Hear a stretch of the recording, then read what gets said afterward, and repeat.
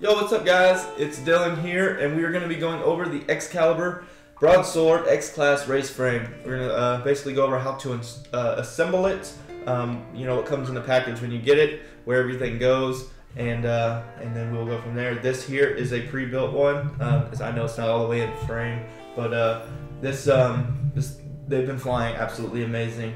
So yeah, we'll be going over that today. We got some parts over here. This is for uh, another guy um, in our club. It's for his broadsword, but um, just kind of his parts line out. And then, uh, so we'll go over what's in the box, what you need to build it, where everything goes. So let's go ahead and get started on that now. Thanks, guys. All right, so when you get your package, this is what is going to come in it. You're gonna get your four arms, you're gonna get a bag of carbon, you're gonna get a bag of TPU prints, and you're going to get a bag of hardware. Um, so the first thing that you're going to want to do, um, set the arms aside. Go ahead and pull your main plates out.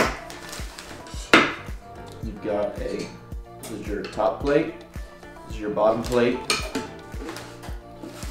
You've got a LiPo plate. This is your LiPo plate.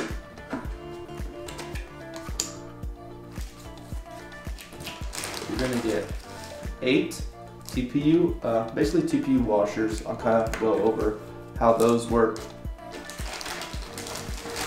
You're gonna get four motor plates. We've got four motor plates.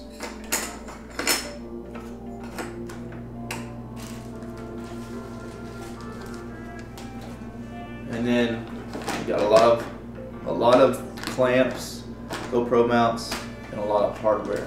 So go ahead and get your hardware. We got standoffs and our long screws in there.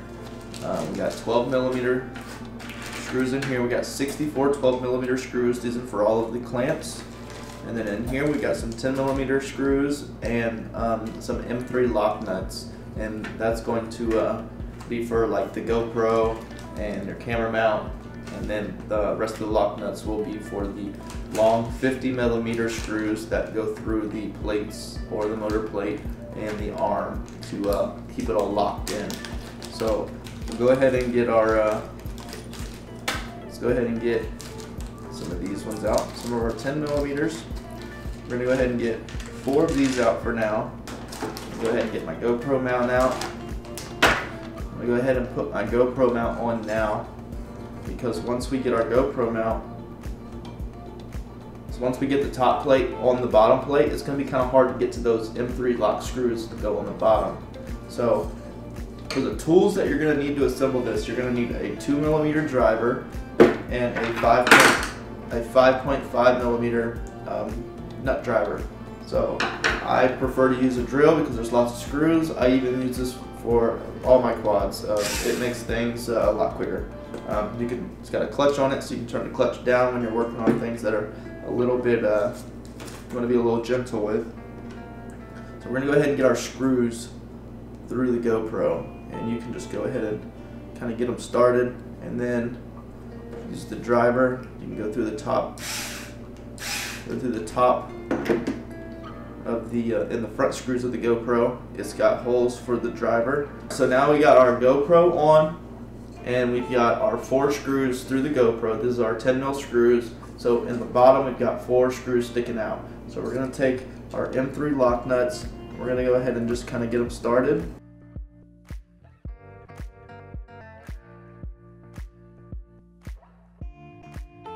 So now we got our GoPro on there and we've got our four nuts in the bottom and they are uh, tightened up. That thing is not going anywhere. And uh, so now we can move on to step two. Step two is going to be to go ahead and get all of our 20 millimeter standoffs added to here because all the bolts have to thread in through the bottom and that way once, it, once it's on the top you will not be able to get them in. So just go ahead and set this to side for the second.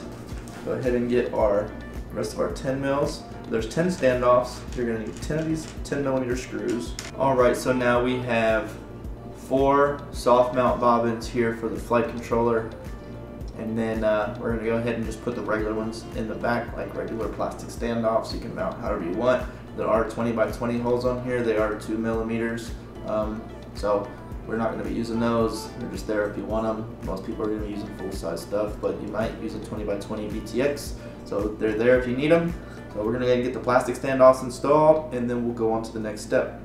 I've got my GoPro installed. I've got my 10 20 millimeter standoffs installed. I've got four soft mount bobbins installed for my flight controller, and I've got my uh, rear stack hardware installed for my VTX and uh, receiver on the bottom you can see all my screws. Alright, so the next step is going to be start getting your standoffs in your TPU clamps. So we'll go ahead and do that now. If you got in on the pre-orders, you will receive four arm guards. So these are going to go on the end of your arms. Set those aside, we won't need them right now. Um, these are just some universal um, universal ESC mounts. These fit like the BS80s, the Lumenier 51 amps, the uh, 70 amp DYS uh, Arias um, on race day quads. So set those aside as well. We're not going to need those right this minute. Full size cam mount if you decide you wanted to run a full size camera. And then a micro cam mount if you want to run a micro camera. Um, literally 100% of everyone that has built this frame has used a micro camera. So I included a micro camera in everyone's frame. I use a full-size camera because I think it just looks more appropriate on these ginormous frames. Okay, so this print right here, this is a arm end for the body. So this will go in on the body like so. So you will have four of these that go in on the body.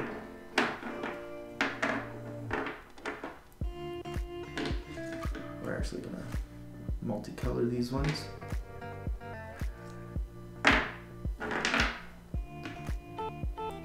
The next print is gonna be the wide,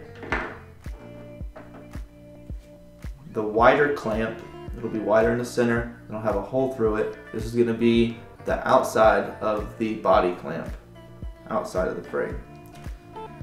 So we'll have one of those on each end.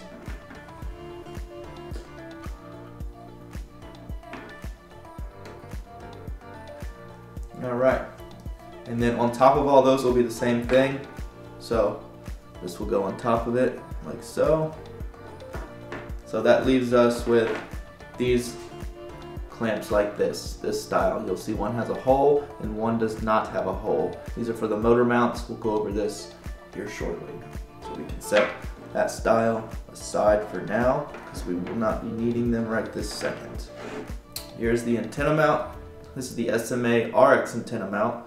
So this will slide on the back standoffs like so. Antenna comes out the back and your two RX antennas. We also have an Immortal T mount that goes on the arm and an SMA mount without the antennas, RX tubes. Uh, so you can, uh, however you run it, we have the option for you. Okay, so what I'm gonna go ahead and do is I'm gonna get my standoffs, 35 millimeter standoffs. Go ahead and just press it down in here. So just press it down. You don't have to push it all the way down. So just get your clamp going. Put your other one in.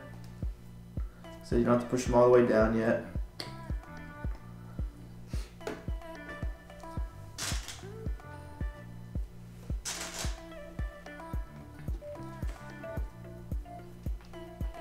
Okay, so we're gonna go ahead and get these installed onto the bottom plate.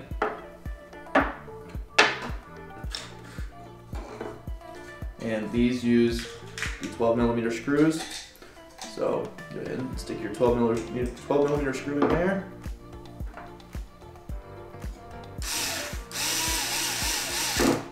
And these don't have to be super tight. Just want to get them started for now. We'll go back and crank everything down later.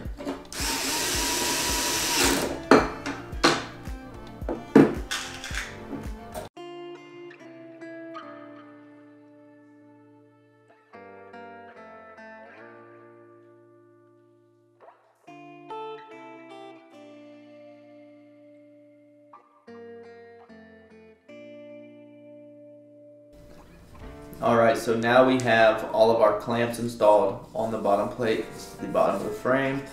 And you'll see in the bottom of the frame there's a, a, whole range of holes here and then there's some that are a little bit wider. The little bit wider ones are for the uh, 3D printed mount for the um, Blue Seas bus bar if you wanted to run a bus bar in this perfectly capable of doing that. It's even positioned out a little bit so you can actually access the bus bar screws from the side of the frame instead of having to take the whole top plate off to get to it.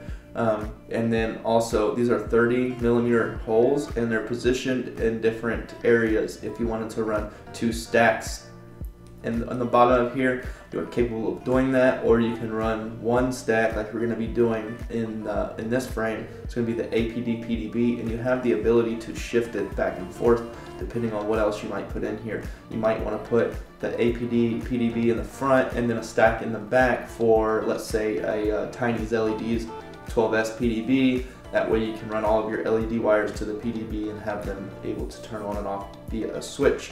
So um, that, that, that was the reason behind all these screws. In the back here is a slot. If you wanted to run a battery in the back, you are able to um, to power the stack with the LEDs from a separate power source. Um, it seems that a lot of people have gotten away from that, but uh, it is there if you want to use it for that. Um, kind of took some area away from this back frame because not a lot of people are using it, but this battery will still fit on here and you can still run the battery strap through there and it will hold it just fine. Uh, in the front of the frame, we have three screws here. You really only need to use the two outer ones for your camera mount. The camera will mount right on here on the front. Um, if you just wanted to run one bolt, you could just run one right in the single, but there is the option to run two screws on the outer side, um, which is how I run mine.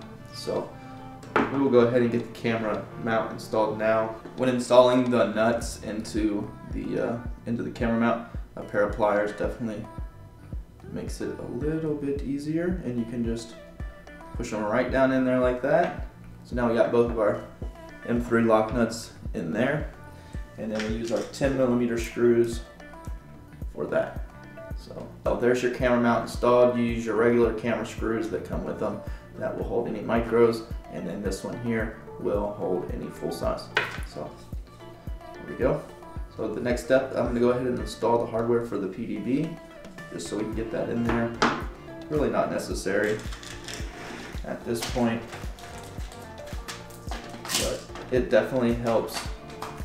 Now, when you're building the frame, when you're actually building the frame, um, it's a little bit easier to go ahead and get your arms in first, and then put your ESC mount, your PDB, wire your ESCs, and then drop the top plate on last. Now you will have some wires running from your PDB most likely, depending on which one you use, up through these two holes here um, so you can you know run it straight up. Um, I, uh, I only have two wires coming up for power and ground on my flight controller and then I've got uh, two wire or four wires coming up or five wires technically coming up for my PWM um, for my motor and then my telemetry wire.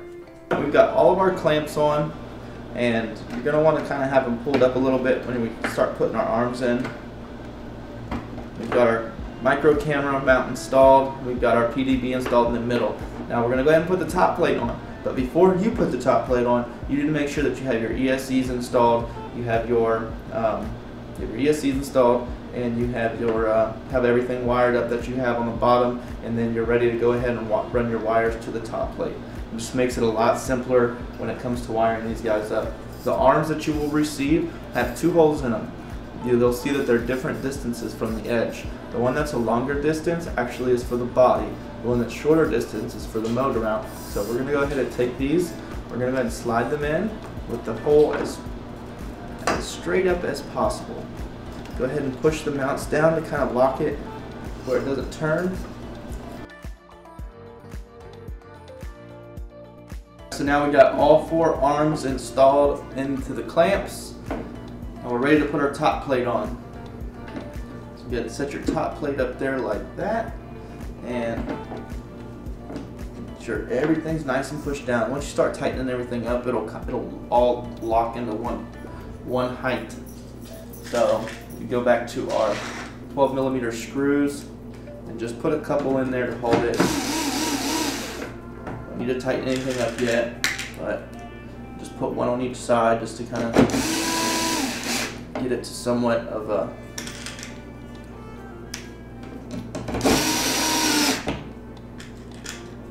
just put one in each corner. All right. Now we go to our 50 millimeter M3 screw. We're gonna go ahead and drive this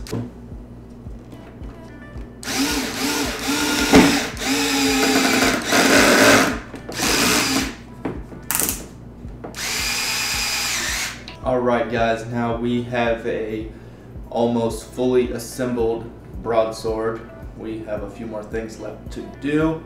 Um, we just put all of our M50 screws in and you'll see here, if you look, all of the threads are popping out the bottom. We have one M3 nut. So what we will do is we will go ahead and thread all of our M3 nuts on there and these really do lock these arms in even more than the clamps. Actually, the way I've been flying my personal frame, they don't have any of the motor locks in them and they are amazing. So we'll go ahead and tighten all of these up. Give me a minute.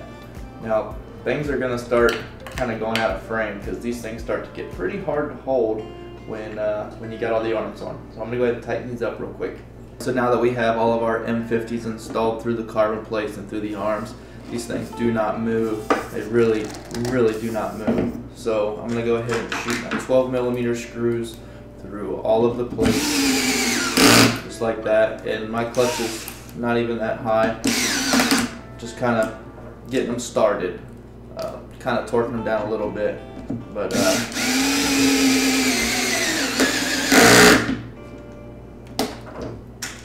go ahead and get all these installed in the top and the bottom and be right back. At this point we have all of the um, 12 millimeter screws through the top plate.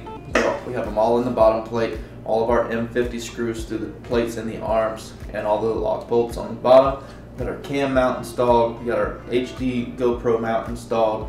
We've got our PDB installed in the bottom. So at this point, you should have everything wired up. Now the ESC mounts, like I said earlier, it's easier to just go ahead and install your ESCs, um, but your ESC mounts will actually install like this on the side, and you'll have two zip ties that run around the arm and hold them on, and they can't really turn too much and won't slide a whole lot. And then one zip tie to hold the ESC on. It's been working great.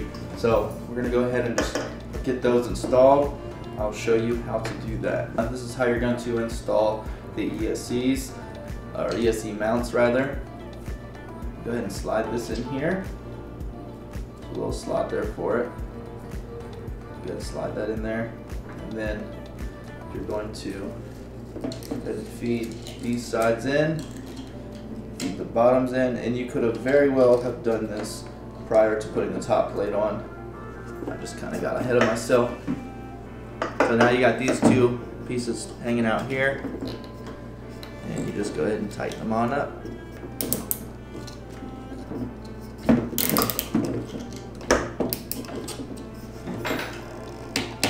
So there is the ESC mount installed. And yes, does use zip ties. We had used the clamping method on the arm using similar clamps to these, but when you start putting those big clamps on the side of the arm, standoffs, screws, it becomes kind of a big uh, just a just a big area that doesn't need to be there. So this, you can see how it's really tight. It's not going anywhere, and it uses zip ties, so it's really light. Keeps them in on the arm. It's definitely um, definitely a pretty pretty uh, easy way to go ahead and mount those. All right, so now we have all of the ESC mounts installed, as you can see here. The top plate uses the rest of your 10 mil screws.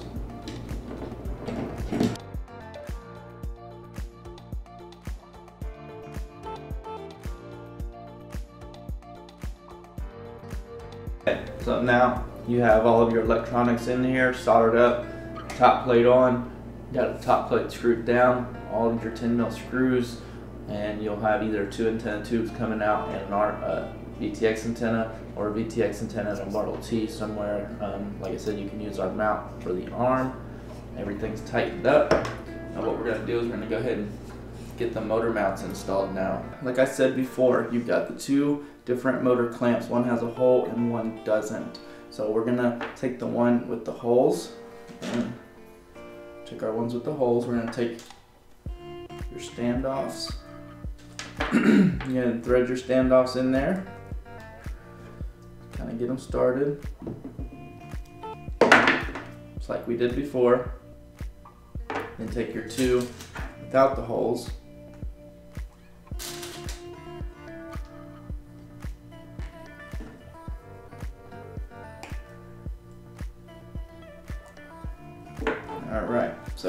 Flip this color that way, and this one go that way. We're gonna go ahead and do this arm, motor mount.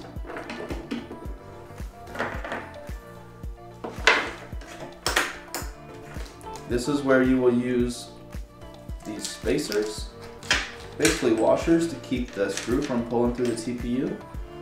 All right, so the one with the hole will go closest to the end of the arm. The one without the hole will go down here. So what we're gonna do is take this one and you're gonna slide it on.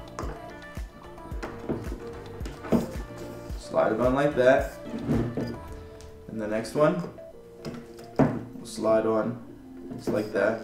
Okay, then you're gonna take a motor plate, push them down. You're gonna kind of wanna line everything up. And then started. Don't go too crazy with it yet. Because we're gonna go ahead and shoot our big long 50 millimeter screw through there now. And this is where you kind of want to make sure it's lined up.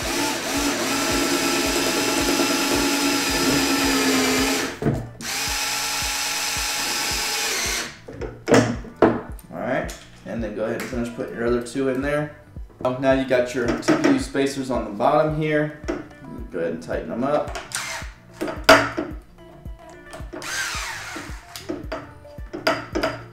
And then that's where the last four of your M3 lock nuts will go. Right onto here. Don't lose them.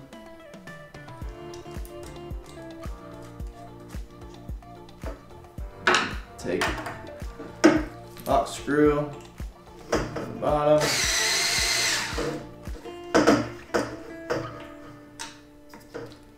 And that's that. Now you got motor installed. You already had your motor mount or your motor installed on the plate before you did this, or else you'd have to take it back off. But this thing, this, this arm ain't going nowhere. It's solid. So I'm gonna go ahead and get the rest of those installed and then uh, I'll be back. That is it, we just wrapped up the frame. Make sure that you tighten all the top and bottom bolts up. Make a couple passes to make sure you not leave any out. If you go crazy tight on one side and it's not tight on the other, then notice the carbon one might start to twist. So just make sure you get a good even tightening on all of the screws. Um, don't go too Chuck Norris on them because it really is not needed. Um, got the all of the motor mounts on and we've got our arm guards installed. They just press fit on there. They really do provide a, uh, that space on there provides a good protection for if you hit the ground. Um, the end of the arm will hit before the motor will. But that's it guys. Um, uh, hopefully if you guys have purchased the frame, this will help you put it together. Um, if you haven't, head over to racedayquads.com. This is where this frame will be sold, as well as all the APD products, even the DYS Aria 70 amps that'll be uh, installed on this frame. So, yeah, that's it, guys. Thanks for watching, and uh, I'll see y'all in the next one.